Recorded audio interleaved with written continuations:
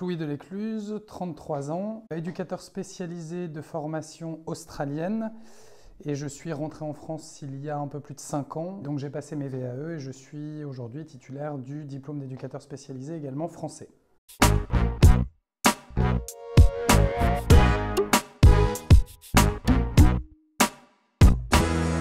J'ai commencé à penser au travail d'éducateur spécialisé en libéral après ma première année euh, de retour en France, où j'ai réalisé que le métier que j'exerçais à l'étranger et celui que j'exerçais depuis que j'étais rentré en France n'étaient pas les mêmes, avec des problématiques différentes euh, et euh, des modes d'interaction avec les personnes accompagnées qui n'étaient pas les mêmes.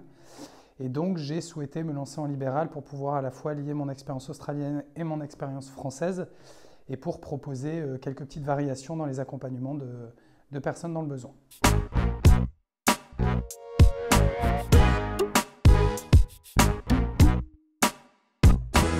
J'exerce en libéral depuis octobre 2022.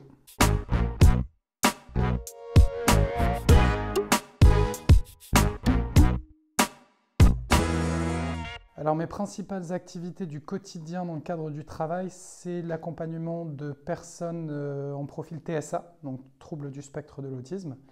Euh, donc beaucoup d'accompagnement euh, dans l'autisme et quelques accompagnements dans le social. Donc principalement des interventions à domicile, donc un accompagnement proposé à la fois pour la personne, mais également pour tous les membres de la famille, en lien direct avec l'ensemble de l'équipe pluridisciplinaire qui est déjà en place. Euh, le tout étant de pouvoir euh, maintenir les acquis et développer les compétences dans un environnement positif et porteur euh, qui pourra être adapté et modelé en lien direct avec la famille et la personne concernée, bien évidemment.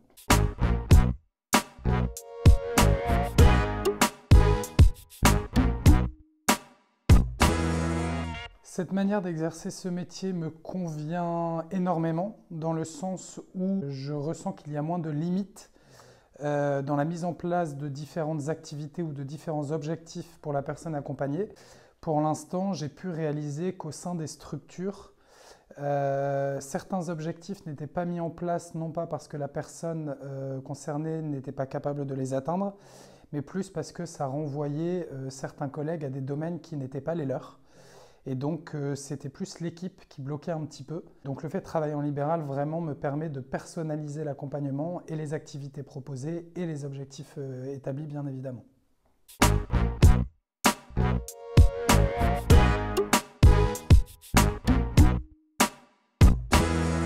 Alors aujourd'hui, est-ce que je regrette ce choix? Absolument pas. Comment je vois l'avenir euh, Brillant, c'est comme ça que je le vois. Beaucoup d'idées, beaucoup de projets toujours en lien euh, avec les différents collègues que je suis amené à rencontrer, avec lesquels je suis amené à échanger et même à pratiquer le métier aussi. Et je pense que euh, beaucoup de bonnes choses peuvent être mises en place assez rapidement, euh, dans le sens où le retour des familles jusqu'à présent de mes idées, les retours sont assez positifs.